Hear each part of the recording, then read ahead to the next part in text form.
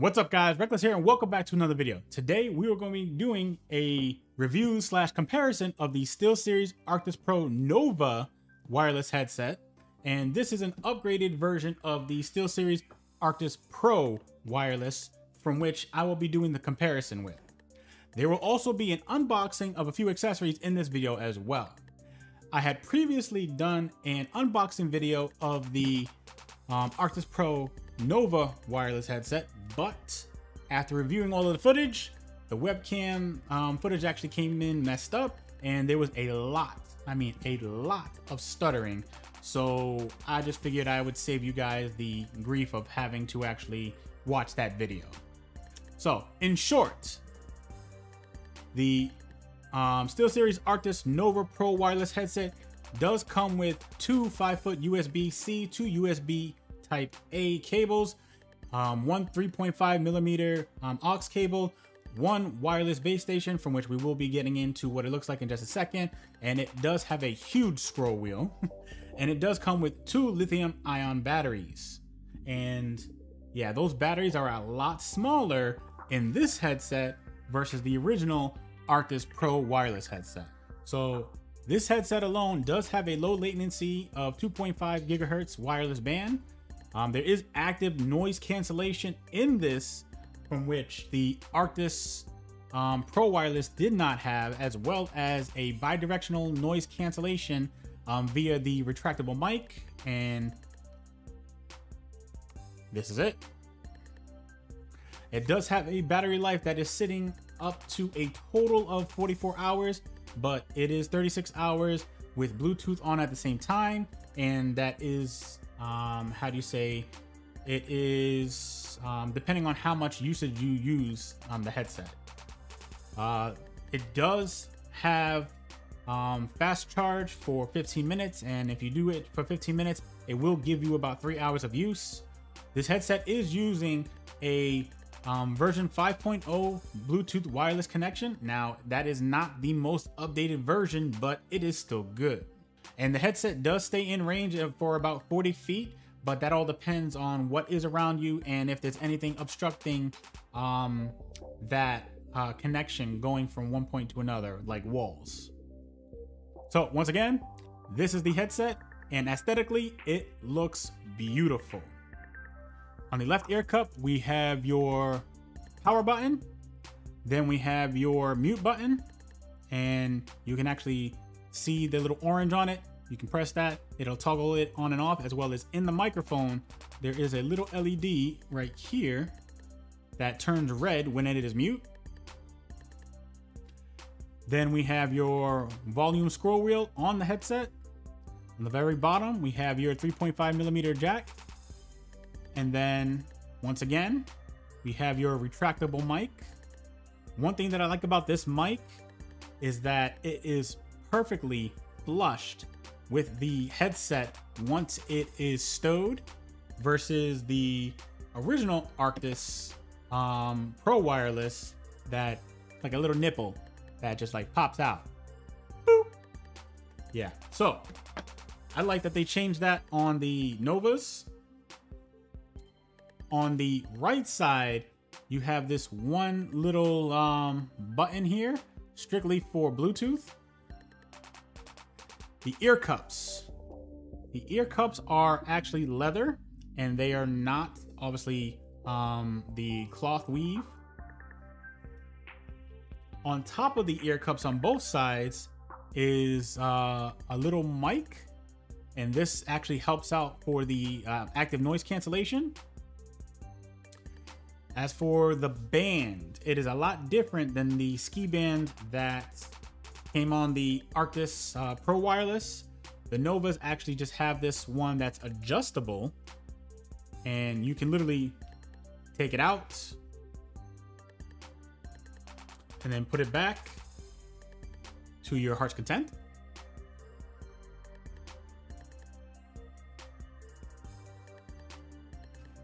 And one thing else that I do like about this headset is that the actual ear cups are now adjustable. So you can extend them um, as you see fit. Me, I kind of like them smaller. I got a small head. Just saying. Um, as for going back to the left ear cup, if you take off this plate, and this plate, even though it looks aluminum, it is actually plastic. Um, you have your um, USB Type C um, charging port here if you wanted to charge the uh, headset just with the cable, or if you go to the right ear cup, you actually have the battery that is rechargeable via the base station.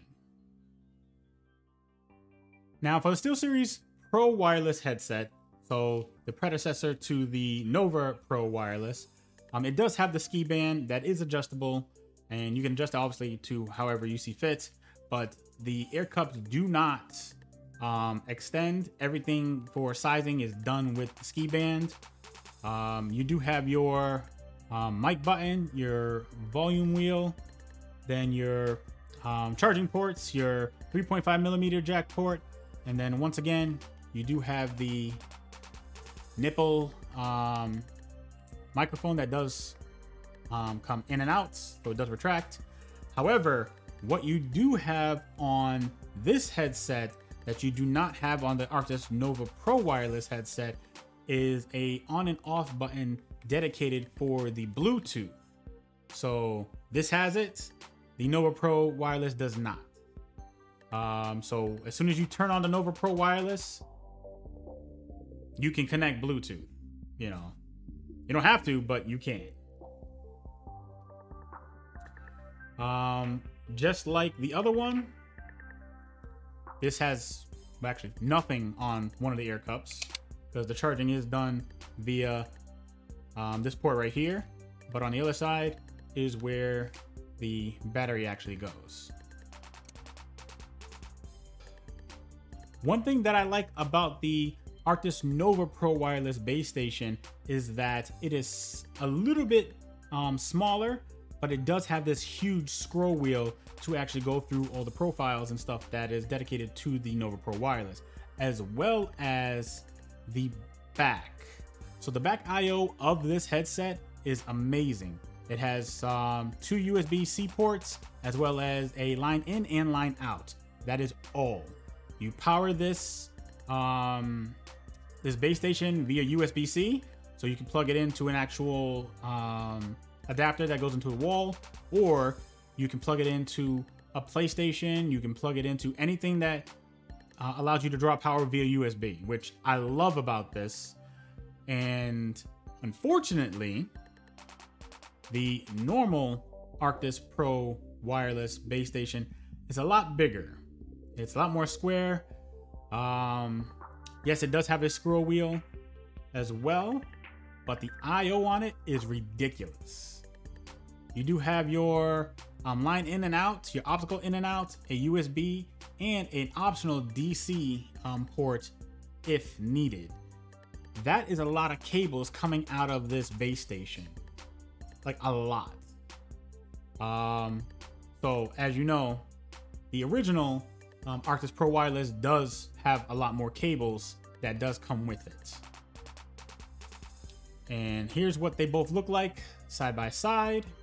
This is the Nova. This is the regular Arctis Pro.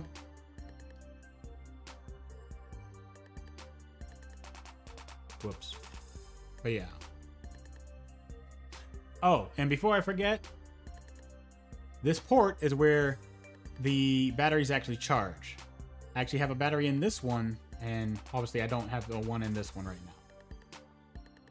So, both of these headsets actually work with the PC, Mac, PS5, PS4, but the Arctis Pro Wireless needs an extra adapter to actually work with the PS4 Slim, but they both also work with the Nintendo Switch. And you may need to update the Arctis Pro Wireless to be able to work with your PS5. So both headsets are able to use SteelSeries GG, which is the updating software for both headsets via PC. And as soon as you get one of these headsets, I would definitely go ahead, hook up the base station as well as the headset to your PC and update it as much as possible. Um, you will save yourself a lot of headache um, later on. Now, one thing that the SteelSeries Arctis Nova Pro Wireless does better than the regular Pro Wireless is that it does utilize and take advantage of what is called Sonar, which is a program inside SteelSeries GG, and it does that a lot better than the normal Arctis Pro Wireless does. And it's literally night and day. Like, it, it's, it's amazing what the Arctis Nova Pro Wireless can actually do um, when it comes to using the Sonar um, firmware. I'm sorry, uh, software. Now, I have been using the Arctis Nova Pro Wireless for several weeks now, and I will say that I love it. Like, love it so much. And it definitely has replaced my Arctis uh, Pro Wireless headset. However, as I did mention in this video, there are several pros and cons um, of the Arctis Pro Wireless over the Nova Pro Wireless, and all of those should be taken into account if you want to get one or the other, if you do not already have one. Now, if you already have an Arctis Pro Wireless, I would use this review to determine whether you think it is worth upgrading to the Arctis Nova Pro Wireless. Because it may be for some, it may not be for others.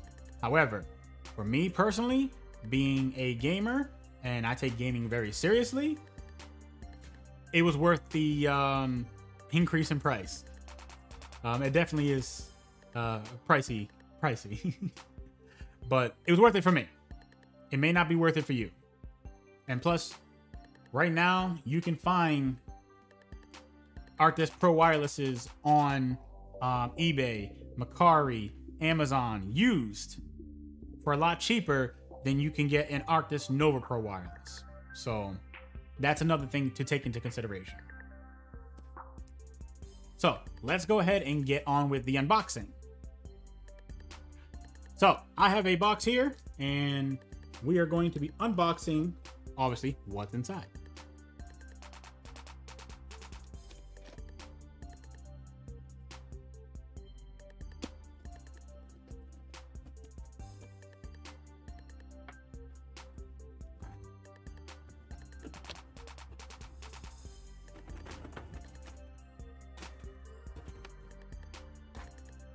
A pretty big box for uh, this little thing.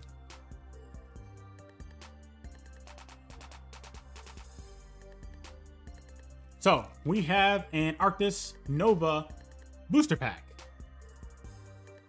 Kind of like Pokemon. Yu-Gi-Oh! So, this is what the box looks like. Let's go ahead. Apparently it opens from the bottom. Because the top is glued. That's weird.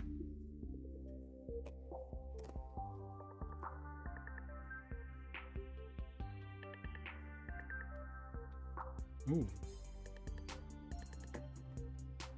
So this is a new headband and um, faceplates for the Arctis Nova Pro Wireless, and they are red. That actually looks pretty badass. And so, this is what the headset looks like with the red headband on. And I will say, that actually looks pretty awesome. So let me know what you guys think about the Arctis Nova Pro Wireless versus the Arctis Pro Wireless um, headsets down in the comment section below. Let me know if you actually have one or if you're willing or thinking about upgrading to one of the two um, headsets. And like I said, most likely I will be 100% moving to the Arctis Nova Pro Wireless headset um, because of all the benefits that it does give me um, while gaming, uh, especially on my PlayStation and my PC. And that, my friends, brings us to the end. If you're new here, feel free to subscribe to my channel, like and share the video if you enjoyed it, and I'll see you guys on the next one.